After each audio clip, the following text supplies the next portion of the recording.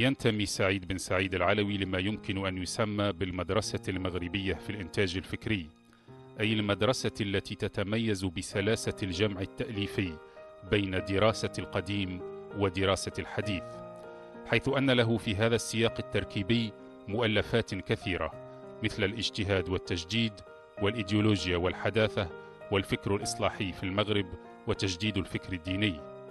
ومع أنه صار من أبرز المفكرين العرب المتخصصين في الإسلاميات فإنه يبقى بحكم النشأة والتكوين باحثا فلسفيا تندرج أعماله في الآفاق التي فتحها كل من محمد أركون ومحمد عابد الجابري.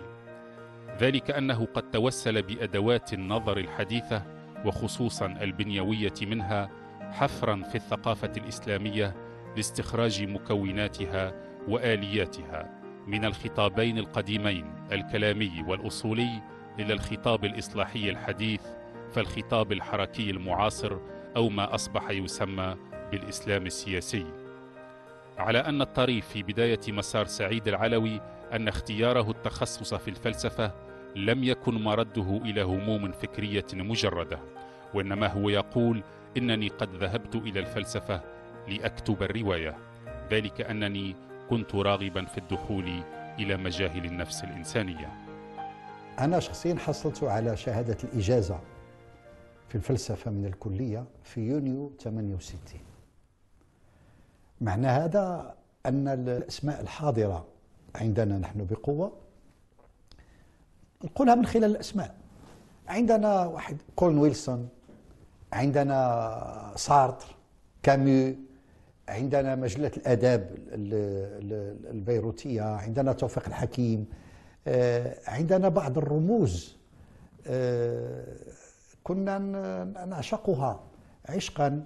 مثلا آه، واحد مثل ارنست همنغواي بعملاقيته وقوته وعنفه وإقباله على المغامرة. فنحن عشنا في هذا الجو جو لا يخلو من حلم. والآن بالسن التي أمتلك الآن وقد تقدم العمر كثيرا آه نحن نحكي عن الستينات. معناها أننا أقل من عشر سنوات على خروج الاستعمار الفرنسي من المغرب. يعني في بداية الستينات كنا لا نزال ثقافيا واجتماعيا آه، نعيش أجواء الفرنسيين في المغرب والإسبان في في شمال المغرب وحرب فيتنام من ناحية أخرى حرب تحررية رموز في إفريقيا هذا باتريس لومومبا هذا بن بلا مختطف ومعتقل. يعني آه، شيء ما سنقول حرب باردة عالم الشرق وعالم وعالم غرب.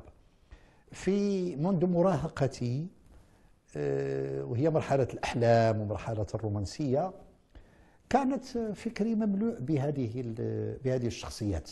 فمرجعيتي كانت آه، شوية ألبرتو مورافيا توفيق على توفيق الحكيم على كولن ويلسون كما ذكرت لك آه، على رغبة في كتابة وكانت هذه محاولات ككل الشباب سني ديال قصص قصيرة ولكن ذات طبيعه رومانسية.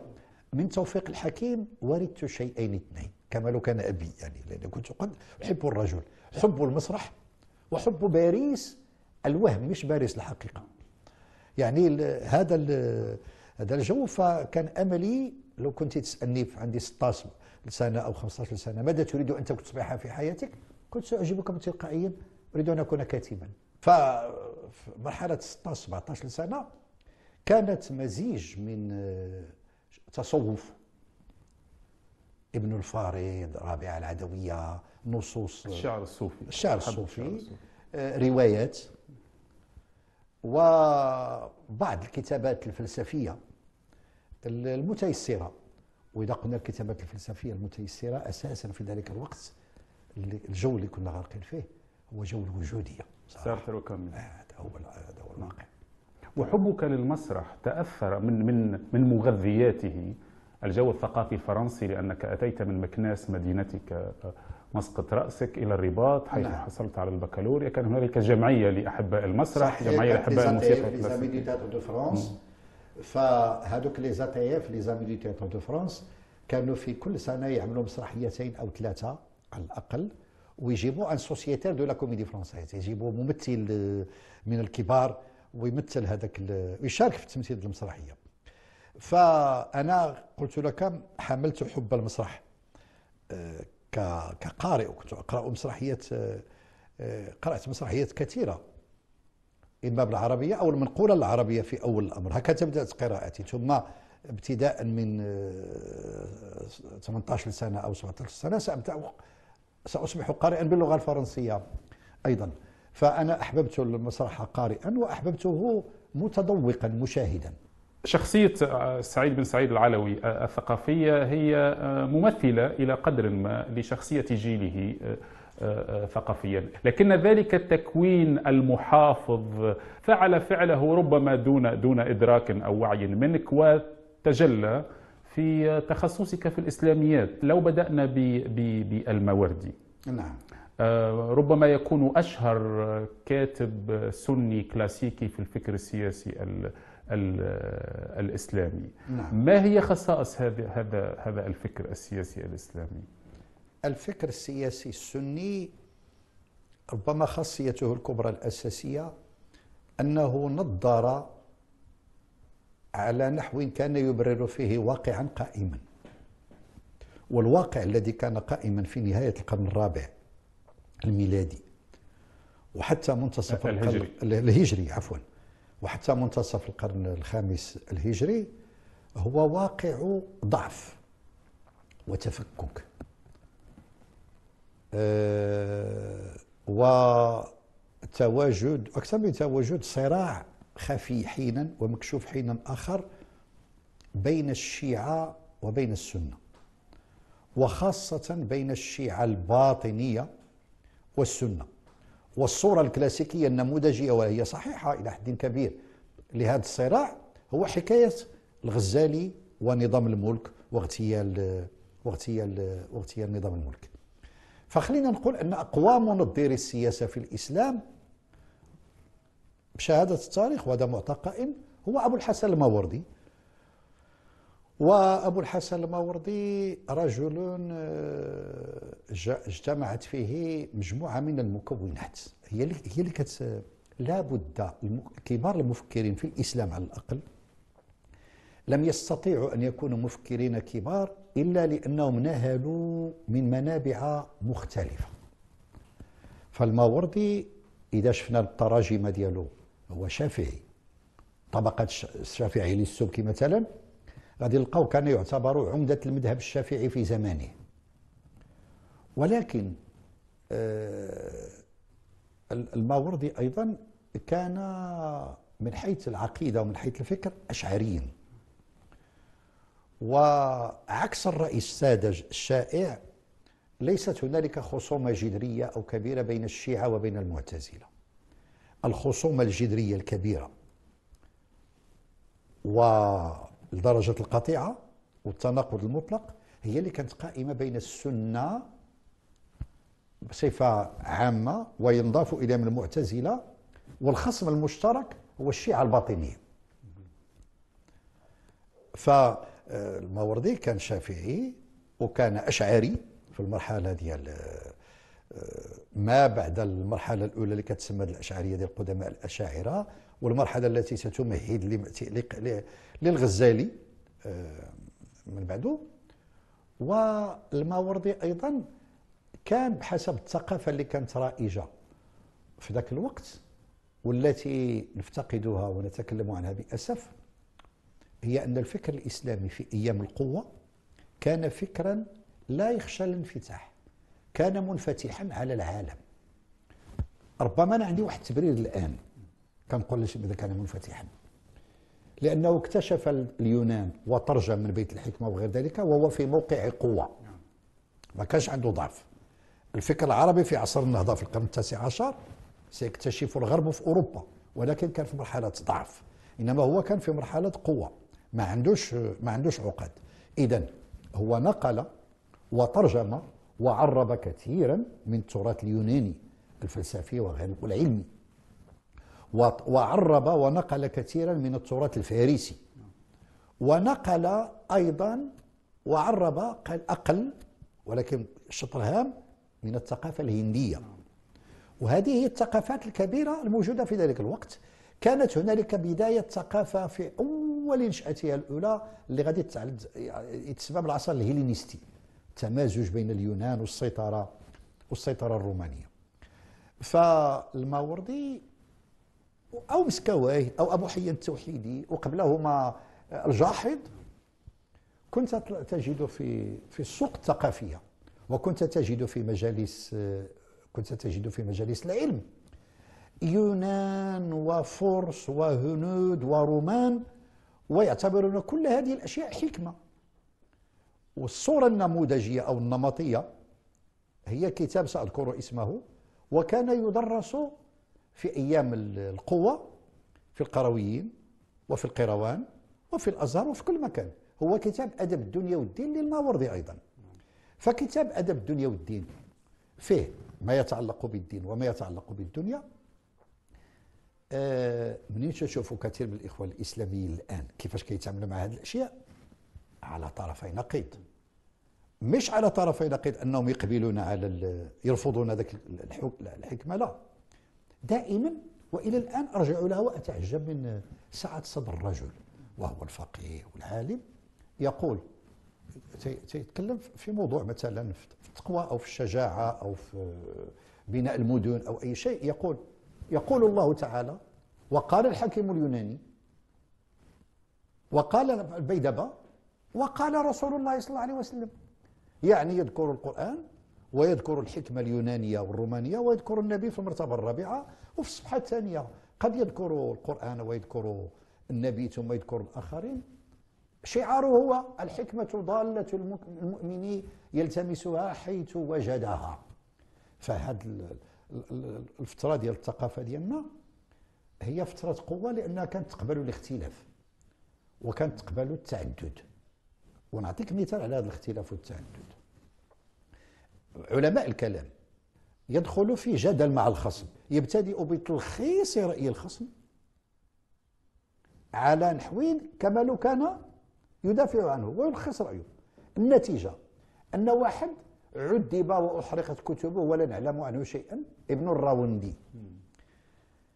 نأتي للكتب ديال علم الكلام. تلخص فكره بكل صدق وأمانة ثم تهاجمه بعد ذلك بكل شراسة. اذا التلخيص بأمانة ونزاهة لتبيان مشروعية القدرة على نقده لأن تمام. ليس هناك أي فالأبواب مشرعة والنوافذ مشرعة والجسم سليم والأساس هو قبول التعدد وقبول الغير وقبول الاختلاف. هذا هو اللي يجاوبك على السؤال.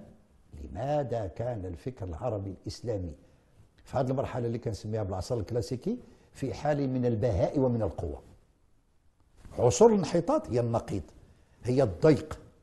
الدرجة التي توصل لم تكن لم تكن تتحدث مثلي فلست خاطئا فقط بل أنت كافر. وحيث أنك كافر فواجب علي أن أقتلك لأن الوجود لا يسعنا آه، لا يسعنا جميعا. فلا يمكن أن نكون اثنين فيصبح القتل التكفير والقتل في الثقافة العربية في العصر الكلاسيكي التكفير كان حكما صعبا حكم شرعي. الحكم السهل هو التخطئة أخطئ الخصم ولكن لا أكفره. والعقيدة الأشعرية لا, لا تكفر. لا تكفر. وكبار الفقهاء كبار المتنورين في الإسلام لم يكونوا فلاسفة كانوا فقهاء. ابن رشد فقيه نعم. ابن خلدون فقيه الماوردي فقيه الحجوي عندنا مثلا في المغرب فقيه. يعني هذا التعاليبي في تونس فقيه. وهكذا يعني أو محمد عبدو فقيه. هكذا كانت الثقافة ديال الموسوعيه بالمعنى الكلمة. اجتمع في المواردي مثل كثير غيره ذكرت ابن خلدون وغيره من من من علماء المسلمين اجتمع فيه الفقه مع الفلسفة مع السياسة. هذا الالتقاء بين بين الفكر والفلسفة والسياسة هو الذي هو الذي شدك وجذبك إلى دراسة الفكر السياسي الفقه والسياسة نعم والحكمة إلى حد ما نعم لكن لا يمكن الكلام عن الالتقاء بين الفقه.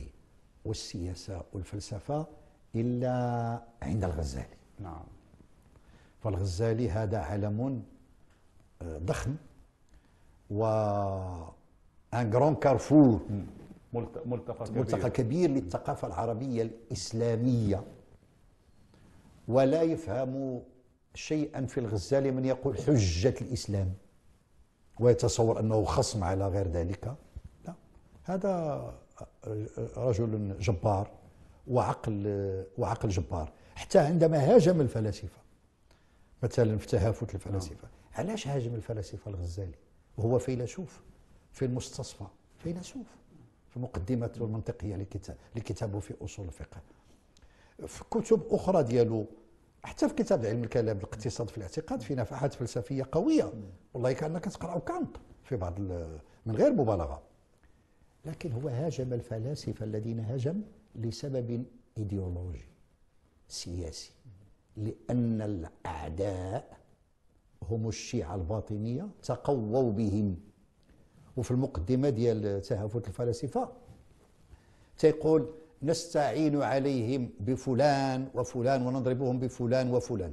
هو يهاجم مثلا ابن سينا لأن بدت له أن هنالك بعض نقاط الالتقاء بين ابن سينا وبين التشيع. فتقول نهاجم فلان بفلان وفلان وتقول واحد العبارة إيديولوجية جميلة واضحة.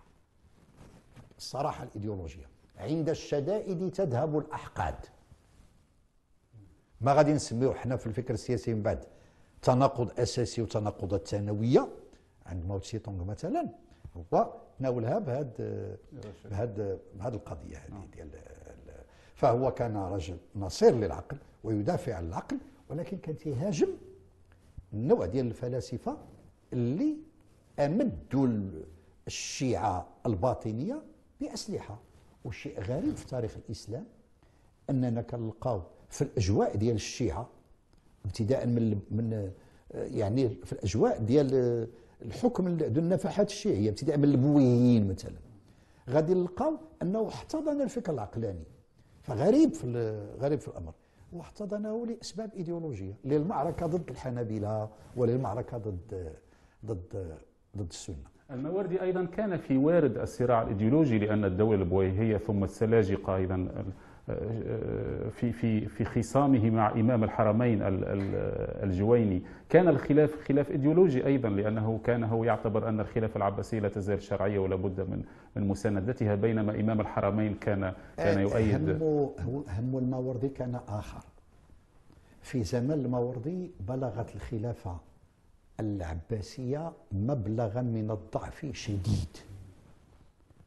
و البويهيون أمسكوا بأزمة الحكم الحقيقية. وزاحموا الخلافة حتى في رموزها. في الخطبة على المنبر في الدينار في وجه دعاء للخليفة. في الرموز كلها ديال الموسيقى تقرأ وغير ذلك. فأخذوا كل السلطات ولكن لم يشاءوا أن يحدثوا. ما غادي يتسبب بلغتنا إحنا اليوم؟ انقلاب.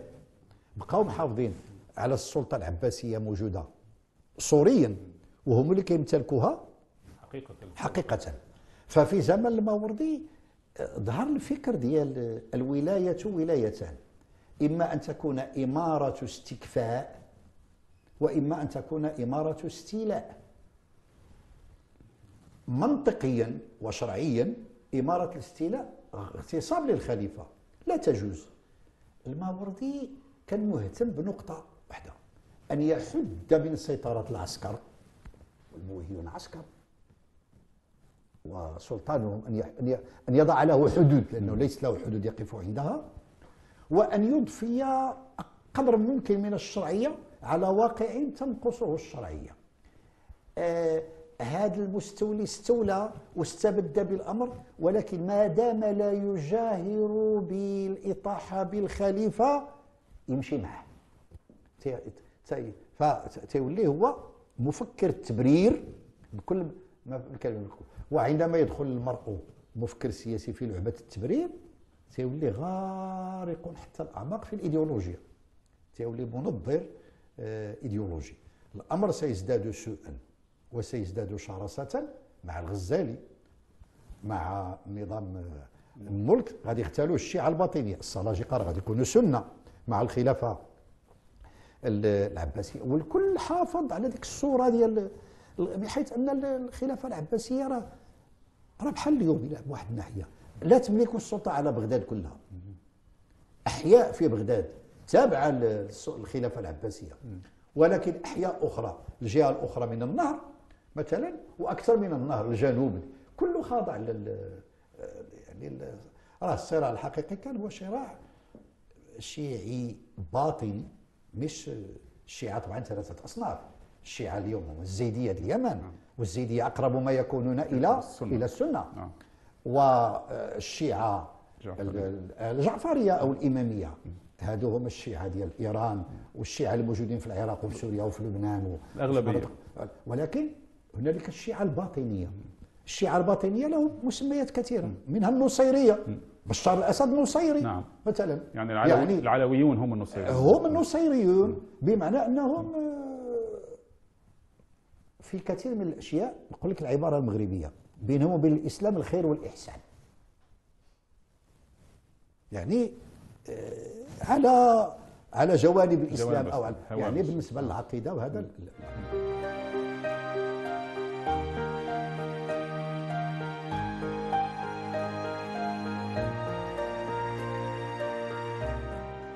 ما توصل إليه سعيد العلوي من تحليل خطاب حركات ما يسمى بالإسلام السياسي هو أنه لا علاقة لهذه الحركات بالفكر السياسي الكلاسيكي في الإسلام السني كما أنه لا علاقة لها بالفكر الإسلامي الإصلاحي لحركة النهضة العربية الحديثة وإنما هي ظاهرة وجدت تعبيرها في شكل إسلام احتجاجي ولهذا فهو يقول عندما وقع عبد الناصر قرار إعدام سيد قطب عام 66 فإنه قد وقع عقد الميلاد الشرعي للإسلام السياسي. هذه أزمة كبيرة مر بها الوطن العربي في كثير من بلاده. وأنا ربما كنت في نظر البعض مغاليا أو متطرفا ولكنني أؤمن أن هذه الدول الوطن العربي للأسف لاحظت أنها نوعان اثنان. إما دول امتحنت بحكم العسكر أو دول لم يحكمها العسكر. بمعنى خضعت لسلطة كنقول العسكر بمعنى الإيحاء الكلمة. ما كنقولش نقول الجيش. الجيش عظيم ومقدس ومؤسسة قارة ولا دولة بدون جيش كمؤسسة قارة وثابتة وهي من رموز السيادة. وكل هذه الأشياء لكن العسكر فيها فيها فيها تجاوزات وفيها معنى قدحي معنى سل معنى تهجيني. معنى تهجيني معنى معنى سلبي فأغلب الظن أن هذيك البلاد اللي العربية ديالنا اللي اللي, اللي عرفت حركات انقلابية اغلبيتها صعدوا على ظهر الدبابات وذهبوا إلى قصر مالك ودمروا وقعدوا مكانه وأقفلوا الأحزاب كلها ولكن أنشأوا حزبا واحدا. ونقابة واحدة وصوت واحد وجريدة واحدة ولون واحد. وعملوا بالمنطق الشعبي. أعتقد يا سيدي الجنرال أفكر يا سيدي ليس من دورك أن تفكر. أنا أفكر لك. إذا أردت أن تفكر فأنت عدو أنت خصم ينبغي ينبغي ينبغي تنحيتك أعتقد أن جمال عبد الناصر يشفع له أنه عمل أنه كان نظيف اليد. باش نكون نزيه معاه باش ما نظلموش. اعظم ما كان فيه أنه كان نظيف اليد. وهذا من النوادر بصراحة. كان نظيف اليد وكان كيقوم بالصدق بما تعتقد ما يقوم. غاب عنه الذكاء السياسي الذي يغيب عن العسكري بصفة عامة. فرضية لو لم يعدم سيد قطب في نظري أنا لما وقع عقد ميلاد الحركات الاسلام السياسي تصور لو تركه في السجن. تصور لو لم يعدمه فقط.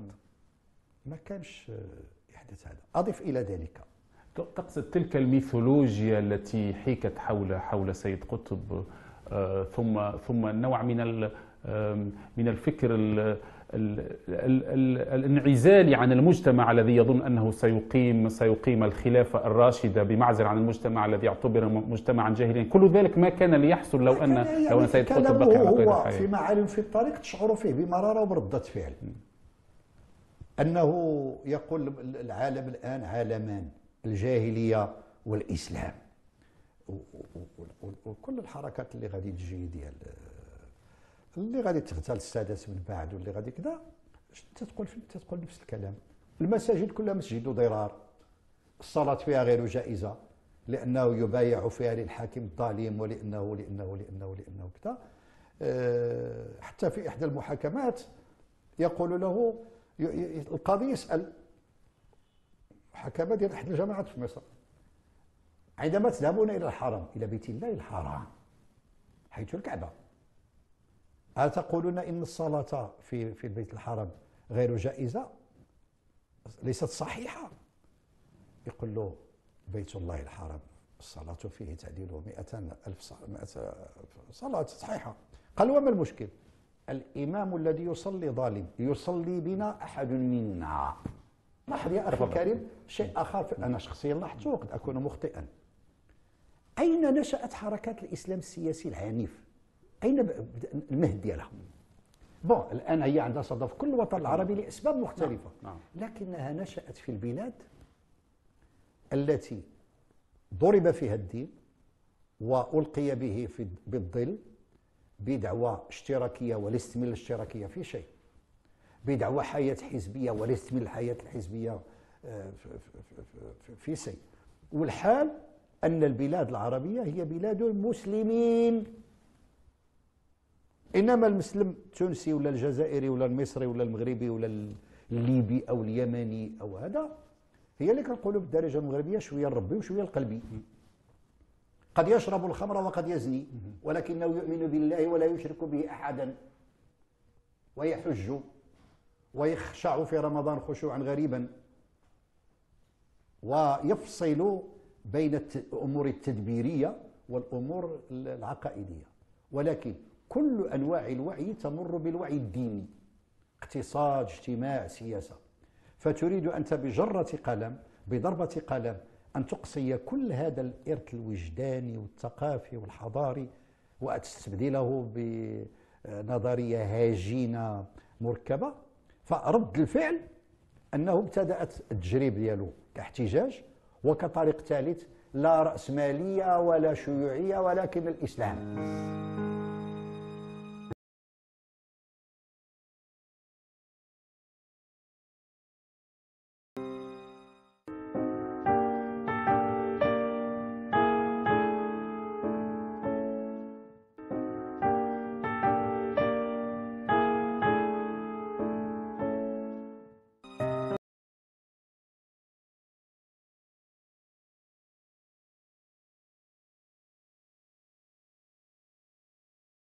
قضية مهمة جدا وهي قضية خلافية بين السنة وبين وبين الشيعة. هي مسألة الإمامة مسألة السلطة. نعم. في الفكر الإسلامي السني الكلاسيكي نعم. مسألة الإمامة هي مسألة تدبيرية اجتهادية. صحيح. متروكة متروكة للجماعة للأمة للاجتهاد وأهل الحل والعقد. في في الشيعة الإمامية هي مسألة عبادية تقريبا يعني هي جزء من العقيدة أن ولسبب سياسي. لسبب سياسي. لأن بالنسبة ل شنو هي نقطة الخلاف الأساسية؟ نمشيو لنقطه الخلاف الأساسية. بعد وفاة النبي صلى الله عليه وسلم. وأول ما وقع الخلاف. هل الإمامة تكون بالعهد؟ بالتالي بالوصية أم بالاختيار؟ الشيعة الإخوة الشيعة شعارهم فكرتهم معروفة أن الإمامة تكون بالوصية. لأهل العهد تكون بالوصية. سيتبع هذا منطقيا فكرة العصمة الإمام المعصوم. لماذا هو معصوم؟ لأنه يعلم كلام الله تعالى فيه ظاهر وباطن فهو يعلم من الباطن ما لا يعلمه آه، غيره آه، من الناس. وهذه هي الفكرة اللي كاينة عند علماء الحوزة في إيران وعند آه، في نهاية الأمر. هي ديال ذاك علم الباطن. نعم. ولكن ما كيجيناش لجهة التطرف والكفر اللي عند الباطنية لا. لا. ابدا إطلاق. فكيبقى أهل العهد والعصمة وما آه، كاينش انتخاب كاين اختيار. أهل السنة وكينتج عن هذا عفوا القضية الاساسيه أن الامامه ركن مكين من أركان الدين. تتصل بالعقيدة. عند الفكر في الفكر السني على طول العصور أن الإمامة ليست ركنا من أركان الدين. ترجع للجماعة. فكرة الجماعة مهمة. ترجع للجماعة وترجع للتدبير وترجع للبيعة وترجع للاختيار.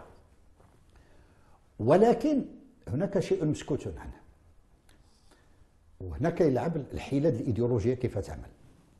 لو أنك خذ كتب علم الكلام ديال السنة. الاقتصاد في الاعتقاد الغزالي آه، أصول الدين ديال البغدادي قبله آه، غادي تلقى أو لا غادي يعني ناخذ مثلا غير الغزالي. غادي تلقى آه القول في الإمامة مليء بالمزالق والكف عن الخوض فيه أسلم ولكن حيث أنه جرى العرف بالكلام فيه فنحن نرجئه للأخير ونتحدث فيه. لأنه ليس جزءا من علم الكلام. آه. نرجئه للأخير. كيقولها الغزالي كيقولها البغدادي كيقولها الباقلاني ولكن هذه هي الخدعة الإيديولوجية. في الحقيقة علم الكلام كله ما الذي يسيره وما الذي يؤسسه هو الرأي المختار في السياسة. فالاختيار السياسي هو اللي غادي يوجه الاختيار العقدي. هذا ما تسميه بال surdétermination هذا la surdétermination بالنسبة في الدراسة مفهوم التوسير آه، بالنسبة التحديد الكلي القبلي يعني. أن هذيك القضية الخفية هي اللي كتحدد هي اللي كتحدد في نهاية هذه فيها ذكاء فيها ذكاء كبير أيضا. نعم. فيها ذكاء فيها ذكاء كبير ذكاء إيديولوجي كبير. طبعا طبعا هذا ولم يكون كانوا أبعد ما يكونون عن الغباء الفقهاء الكبار. عكس ما تيتصوروا شبابنا اليوم هم على درجة عالية من الذكاء والدهاء. والمتكلمون على درجة عالية من الذكاء والدهاء. فعندما يجتمع الأمرين ويتعلق الأمر بالتدبير التدبير السياسي وبفكر سياسي كلهم مفكرون وحتى في باب السياسة دهات. وفي بعض الأحيان لهم أطماع شخصية. كلمة حكيمة قرأتها قديما هي لمؤرخ ممتاز في الإسلام وهو كلود كاهن. في أرض الإسلام كانت هنالك عشرة وود بين السياسة وبين الدين. هو هذا. والعشرة الطيبة. أن دائما السياسة تحاول أن تسخر الدين لمصلحتها. وهذا راه في تاريخنا كله نعم. أتقول لي حتى الآن؟ نعم حتى الآن. وربما في بعض المناطق وخصوصا الآن. نعم. ف... اذا أنت توافق استرسالا أنت توافق مؤكد زميلك دكتور رضوان السيد الذي الذي يشاطرك الاهتمامات الفكرية خاصة دراسة الفكر السياسي الإسلامي الذي يقول آه، ما يقال عادة آه، تقليديا عن ان عن أن الخلافة هي هي حارسة آه، الدين وسائسه الدنيا. كان كأن الدين محتاج للدولة ليس صحيحا في تاريخ الإسلام إلى يومنا هذا. الدولة تحتاج إلى الدين هي التي تستعمله. الماوردي اللي هو الممثل الأول والأكبر اللي طول العشرة استظهروا كلامه استظهارا. الفصل الأول من الأحكام السلطانية. الباب الأول الجمل الأولى تقول الإمامة كيقصد بها الخلافة؟ نعم. الإمامة موضوعة لخلافة النبوة في حراسة الدين وسياسة الدنيا. ولكن كانت تحريص الدين من العبث به وهذا صحيح في كثير من الأشياء ولكن الموجهات الكبرى هي سياسة الدنيا.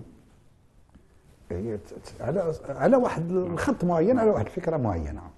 لكن هنالك شيء مهم جدا الآن ما ذكرته بس آه، آه، بصرف النظر عن مسألة وجود السياسة كمضمرات سابقة هي التي تواجه كل شيء آه، كون آه، علماء السنة كلهم تعاملوا مع مع المادة السياسية كموضوع ومع السلطة ومع الخلافة آه، كمسألة تدبيرية جعلهم ينظرون إليها من منظور فقهي. كأن كتاب الموردي الأحكام السنة كتاب فقهي. فقه تبويبه تبويب فقهي. فهو في مجال الظنيات في مجال الرأي وليس في مجال القطعيات واليقينيات. وهذه النقطة اللي تتقول الظنيات لأن الفقه كله مبني على الظن. والإنصاف في الفقه هي الفقيه يقول لك وأغلب الظن وأغلب الرأي وما عليه جمهور الفقهاء. دائما هذا دائما هذا هذا الاحتياط. الفقيه عنده هذا مهموم بهذا الواقع مهموم ينظر له لكن هنالك فرق بين الفقيه والفيلسوف من ناحية ديال السياسة. الفرق بينهما على الأقل عندي في مستويين اثنين. في المستوى الأول أن الفيلسوف متعلق بالنظر. النظر أولا. الفقيه متعلق بتدبير الواقع المعيش العملي. العلاقة بين الفيلسوف وصاحب السلطة سواء كان خليفة أو سلطان أو ملك أو أمير هي ماشي من جنس العلاقة بين الملك والأمير والحاكم والفقيه. الفيلسوف يظل بمعنى من المعاني تلميذ لأفلاطون. ومنتميا للمدينة الفاضلة. والمدينة الفاضلة تقتضي في نهاية الأمر بالكلمات واخا ماشي أفلاطون ترجمناها حتى أصبح الكل كيعتقد هذيك القولة ديال يتفلسف الفلاسفة. يتفلسف الحكام أو يحكم الفلاسفة العبارة بهذه الحرفية ماشي ديال أفلاطون ولكن تم صياغتها بهذا. الفيلسوف بمعنى من المعاني يتصور نفسه هو الأحق بالمنصب من هذاك السلطان أو الملك أو الرئيس. الفقيه تقول للملك أو للسلطان. أنت أنا أشير عليك كيف تدبر؟ ولكن أنت المسؤول. ولا أتطلع لمكانك وأنا بعيد عن ذلك. فأنا كنساعدك على التدبير. نعم. تدبير أمور المدينة وتدبير أمور أمور العقل. نعم. فالفقيه ما عندوش من الناحية النظرية هذاك الطموح أنه غادي هذاك الانحرافات وقعت في تاريخ الإسلام ديال الفقهاء ظهروا في تاريخنا. أرادوا أن يستولوا على السلطة. فشلوا. فشلوا لأسباب لأسباب كثيرة. ودائما أنا كنقول الفقيه هو إنسان عملي وقدمه على الأرض مش في القمر. هذو الفقهاء الحقيقيين. نعم. هذا هو عكس ما يتصوروا نعم. كثير من الغريب آه، أو اللافت للنظر على الأقل وأنت انتقلت من من دراسة الإسلام الفكر السياسي الإسلامي الكلاسيكي إلى دراسة ما يسمى بحركات الإسلام السياسي نعم. رغم أنه ليس لها إنتاج فكري بالمعنى المتعارف ولكن ما هو متوافر من من منشورات ومن بيانات في الإنترنت و نعم. ويجعل درستها دراسة دراسة مستفيضة أيضا وجدت أنه ليس لهذا ما يسمى بالإسلام السياسي أو الإسلام الاحتجاجي هذه الحركات. أي علاقة بالفكر السياسي الإسلامي الكلاسيكي؟ وأي علاقة بالفكر الإصلاحي؟ صحيح. بالإصلاحي أيضا. لذلك آه كتاب اللي جعلت له عنوانا دولة الإسلام السياسي وجعلت له عنوانا فرعيا وهم الدولة الإسلامية. لأن ما يسمى بالدولة الإسلامية عندي هذا وهم. ووهم كبير. لماذا؟ كان قريت أو درست مضطر نصوص ديال هاد المنظرين اللي كاينين وهي نصوص قليلة. هاد النصوص هذه هل تمت إلى الفكر السياسي في الإسلام بصلة؟ سواء الفكر السياسي السني أو الفكر السياسي في المرحلة ديال علم الكلام أو الفلاسفه أو الفكر السياسي الحكمي ديال نصائح الجواب سريع لا علاقة له به اطلاقا. هل تمثل الفكر السياسي الغربي الإنساني بصلة؟ لا علاقة لها به هل يمكن أن نقول إنها بحكم القرب الزماني تقترب من إشكالية عصر النهضة؟ إشكالية عصر النهضة هي إشكالية الانحطاط والنهضة والتغيير. لا علاقة لها به إذا هذه الحركات اللي تفضلتي قلتي وأنا معك في هذه الكلمة إسلام احتجاجي أو حركات احتجاجية. الإسلام السياسي. علاش كنفتح القوس لأن القضية الأساسية بالنسبة لهم هي امتلاك السلطة السياسية بالطرق غير الشرعية وغير القانونية.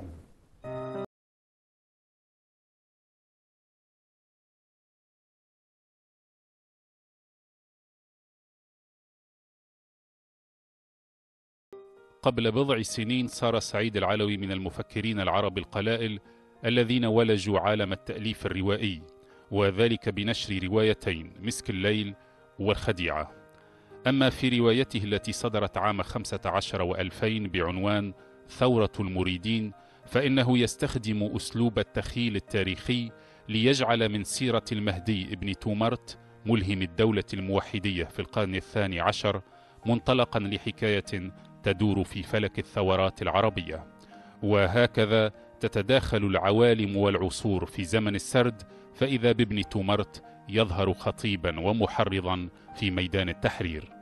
لا يمكن للمرء أن يكتب رواية بأي مقياس من المقاييس دون أن يكون قد قرأ كما للرواية وأصبحت الرواية بالنسبة له كالسيجارة مثلا. يعني لا يستطيع أن أن يستغني عنها. نعم. فيبدو لي أن هذا الأمر لا أعتقد أنه من خاصية مغربية أنه في كل مكان. آه، النماذج موجودة. نستطيع أن نحصيها من كل من كل بلد. ولكن قناعتي أن الأمر هنا يختلف باختلاف الأشخاص. ليست هنالك قاعدة يمكن أن نعتبرها قاعدة أو مبدأ عاما في هذا في هذا الصدد. شخصيا إذا كنت قد أصدرت رواية بشكل متأخر. فلا أكتمك أنني كنت أحمل هذا الهم ما يربو على أربعين سنة وربما أكثر من ذلك وأن لي محاولات آه، ترجع إلى فترة بعيدة. وأنني بين الفينة والأخرى كنت دائما أكتب ما أسميه خربشات نعم. آه، نوع من المونولوجات مقاطع من حوار آه، وذكرنا في البداية أنك ذهبت للفلسفة لأنك تريد أن تكتب رواية. نعم يعني بالنسبة للرواية الأولى المسك الليل فيها فيها قدر من من السيرة الذاتية. لكن الروايتين الأخيرتين الخديعة وثورة المريدين قضيتان آه، تاريخيتان أو سياسيتان. نستطيع أن نقول أن الرواية رواية ثورة المريدين تدور في فلك آه، الثورات العربية. هما نصان نصان روائيان متراكبان. والقصة الأخرى هي قصة المهدي ابن ابن, ابن تومارت منشئ الدولة الموحدية منشئ الدولة الموحدية نعم. السؤال هو الربط بين هذين النصين. أن وجود محمد بن تومارت يفسر افتقاد الثورات العربية لقيادة. هل هذه كانت من هواجسك في في في خلفية الكتابة؟ والله ربما كان الهاجس هاجسان اثنان في الوقت نفسه. هاجس شخصية المهدي نفسها في تاريخنا العربي آه. الإسلامي. آه المهدي والمهديوية وادعاء المهدي. ثم هنالك بالنسبة للناس آه تشوف أو ترقب لهذا الرجل الذي سيأتي. ليملأ الأرض عدلا كما ملئت كما ملئت جورا. وهنالك المهدي استطاع أن ينشئ أكبر دولة في تاريخ المغرب. شوف أنا كانت عندي واحد المعركة تقريبا معركة نفسية. قناعتي أن الرواية هي الرواية وأن التاريخ تاريخ. عندما فكرت في المهدي بن سومرت قرأت ما شاء الله وأن أقرأ من المراجع التاريخية حتى امتلأت من التاريخ. قرأت كل ما أمكن لي أن تصل إليه. ولكنني حاولت آليت على نفسي أن أنسى كل ما قرأته. وصاحبي هذا في الرواية هذا اليموري انزوى في هذه المدينة الصغيرة في جنوب إسبانيا لكي يكتب رواية المهدي بن تومرت في اعتقاده الحقيقي. لكن ليس الرواية التي أتى بها ليس أين هو هذا المهدي أين هذا المهدي الحقيقي؟ ليس هناك مهدي حقيقي. هناك مهدي كما يركبه آه، الروائي كما يركبه كما يركبه المؤرخ. هو كان بين يديه كما كان بين كل الآخرين كتاب هذا الذي يسمى البيدق في أخبار المهدي. ولكن ينادي المهدي الرواية التاريخية الشائعة؟ هي الرواية التاريخية الشائعة. ينادي المهدي بن سمرت بالمعصوم وبالإمام. وكتبها في زمن الخليفة الأول عبد المؤمن الموحدي. فخوفا منه. فالخدعة الروائية أن الروائي يتصور أن البيدق هذا عنده مخطوط ضائع. رواية ثانية يصور فيها شخصية المهدي الإنسان.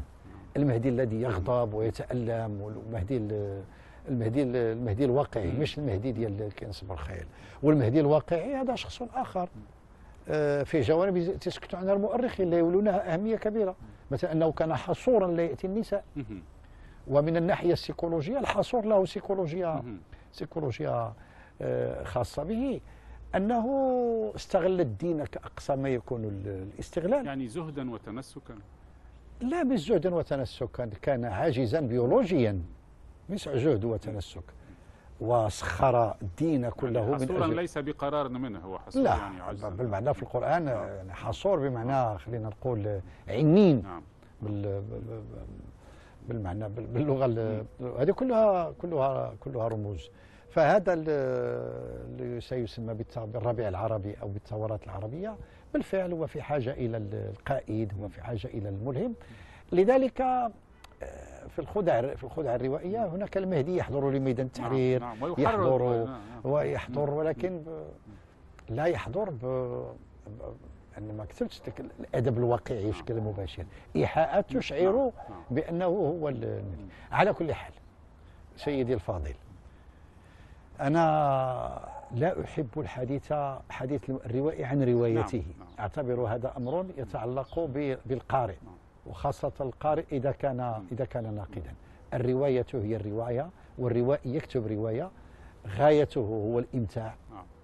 وغايته أن يكتب نصا روائيا يرضى عنه من الناحية الفنية. فنية، نعم. ما عدا ذلك هذا أمر لا يعني. نعم نعم. هذا أمر لا يعني. والسؤال الذي لا أستطيع ان أن أمنع نفسي من أن أطرحه عليك هو أن كون آه، أبو عبد الله محمد بن تومرت ادعى أنه المهدي المعصوم، يعني أن هنالك قدرا من الدجل في شخصيته السياسية، كأنك توحي بأن بعض القيادات التي ركبت موجة الثورة آه، كانت آه، تدجل لأنها لم تشارك في لم تشارك في في رب الثورة. نعم هذا هذا أؤمن به. هنالك شيء من ذلك ومثال مصر بكل صدق مثال مصر أقوى من مثال تونس. في تونس كان الأمر مختلف. نعم.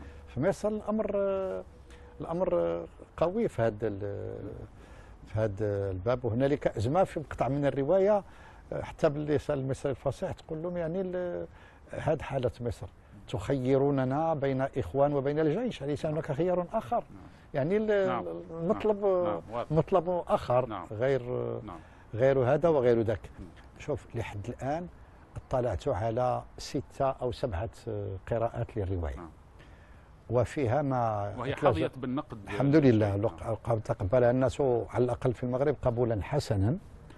وفيه ثلاثة أسماء أو أربعة أسماء من خيرة النقاد ال- الروائيين. المغاربة. وفيهم أسماء كبيرة في الواقع جدا من اللي تدرسوا مادة الرواية. ت- تأويلاتهم مختلفة. نعم. وأنا نفسي أجد شيئا آخر حتى أحد آه، هؤلاء ال- الأساتذة النقاد الكبار السي سعيد بن كراد. آه، لما أطلعني على ما كتب قال أنا سا- سا- حاولت أن أساعدك على الكشف من بعض الجوانب الخفية في يعني بطريقة لا شعورية لأنه هو أدواته لكي لكي يتعامل بها. وهذا وهذا صحيح. نعم. أن ال- أن القارئ يكشف للكاتب عن أشياء لا لا يستطيع أن يدركها. لأن هناك معميات معميات كثيرة.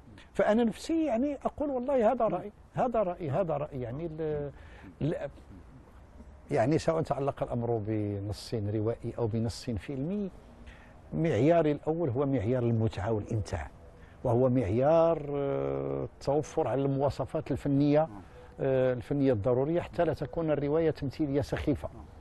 فلذلك أفضل ما أفضل ما يمكن أن اقوله عن الرواية هي هذه الرواية نعم فقط نعم. من رواية- غير ليست إضافة. رواية أطروحة أو رواية ما لا أو رواية أقول فكرية مثل- بر... لو روماتيز رواية أطروحة رواية تخدم قضية ليست رواية. رواية تاريخية؟